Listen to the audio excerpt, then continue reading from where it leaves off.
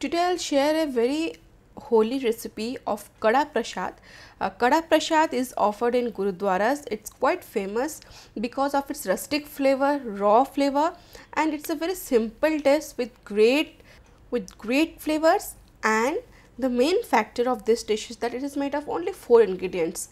Quick, simple, easy and of course loved by one and all. I am Subhankari and I welcome you all to my channel Su's Food Corner. I hope you all are doing great in your lives and if you are new to this page do subscribe to my page and do not forget to tap the bell button and thank you all for loving my channel so much and liking my videos so much. So let's begin with this recipe. This is called Kada Prasad. So I have taken a kada or a kadhai.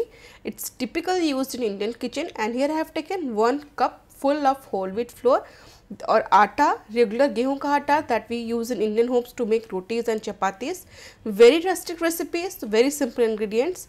And I have taken here 3 4th cup of clarified butter or ghee. Normally in gurdwaras they take the equal amount of ghee as to that of whole wheat flour. But here I have taken 3 4th cup. If you want you can take 1 cup full of clarified butter. I'll just leave 1 to 2 tablespoon to use later I will tell uh, when I will use this. This gives a very different flavor. And when this clarified butter ghee is heated in medium flame I will add the 1 cup full of whole wheat flour. And nothing has to be done rest. We just need to be very patient. And I will just mix it on medium flame till this turns golden brown. Actually this recipe is made in huge amount in Gurudwaras and is offered uh, to the pilgrims and many people volunteer to make this recipe. So, naturally when things are made in public domain the recipe is very simple. There the recipe is 1 is to 1 is to 1 1 cup whole wheat flour 1 cup sugar 1 cup clarified butter or ghee and 1 cup of water. But here I have just taken 3 4 cup of ghee and gradually you can see the clarified butter has started to melt. And here I want to share a special uh, technique here what they do they usually scrape this like they use huge kadhais or round bottom uh, pan and they use a spatula to just scrape it this scraping gives the total halwa a equilibrium in heat which results in roasting in a uniform way. That's why the color, the smell, the texture naturally changes in its cooking. So, these are all little fundamentals that gives flavor in Indian temples. And naturally when many people are involved certain tips and tricks holds good so that the flavor of the prasad remains same even if many volunteers change every day. So, this is the technique they use. They usually scrape it scrape it continuously till it turns golden. And see after scraping for good 8 to 10 minutes this should be the consistency. There is a nice glaze of clarified butter and at this stage I will add sugar 1 cup sugar I have taken in the same ball I have taken.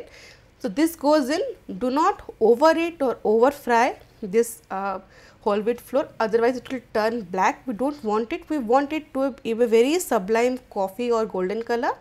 This is the perfect time we will need, we'll need to add water.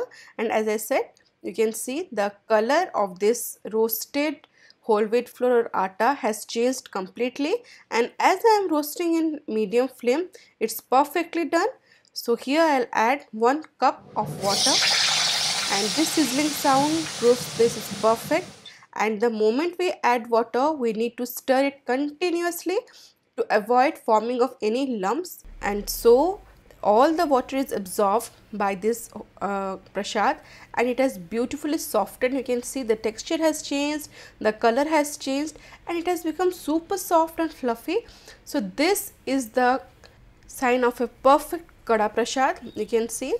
It's perfect according to me. And at this stage after roasting for 3 to 4 minutes I'll add the amount of ghee that I had left around 1 to 2 tablespoon. This step is not followed in Gurudwara, this is my special touch. And this according to me makes the prasad more fluffier. In Gurudwaras as they make in huge quantity, so the cooking process is very raw, very rustic, nothing refined.